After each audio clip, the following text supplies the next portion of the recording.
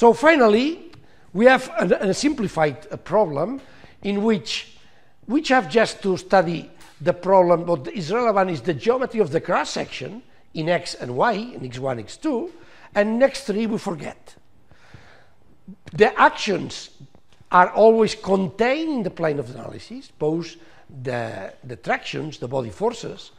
The prescriptions in terms of gamma u are also prescriptions on ux and uy, and that is the situation.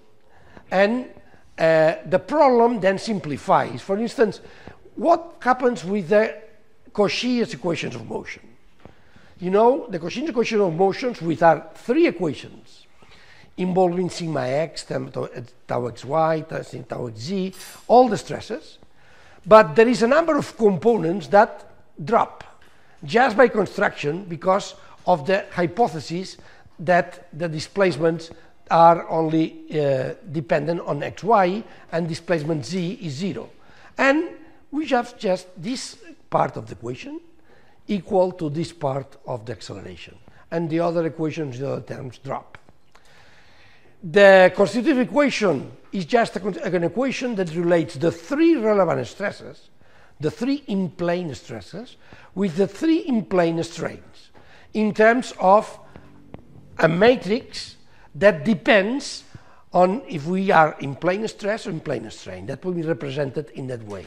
So a fictitious uh, Young modulus and uh, Poisson ratio, which is equal to the real one in plane stress, or which is corrected in that way for plane strain. Okay?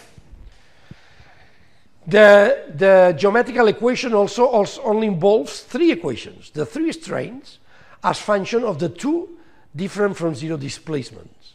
So finally, we have a set of two unknowns in terms of displacements, the two displacements, three unknowns in terms of strains, and three unknowns in terms of stresses.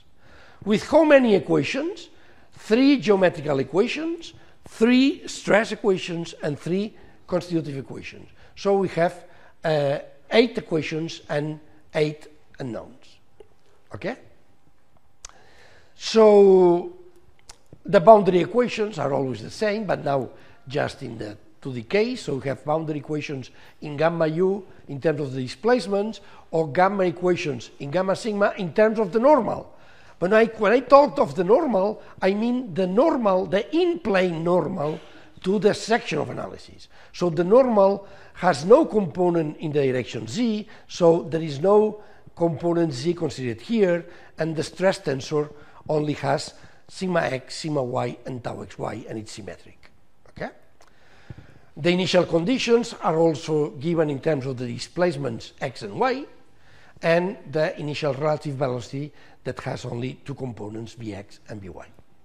So this is a system of eight unknowns and eight equations, which after solving these equations, we have the displacements, the three strains, the three stresses, and in addition, a posteriori, we can, in plane stress, determine what is the EZ, the, the displacement epsilon z, the out of plane strain, which is non-zero, or in plane strain, we can determine, that is very important to determine, the out of plane stress, which can be obtained just by summing these two, sigma x and sigma y, and multiplying by the Poisson ratio.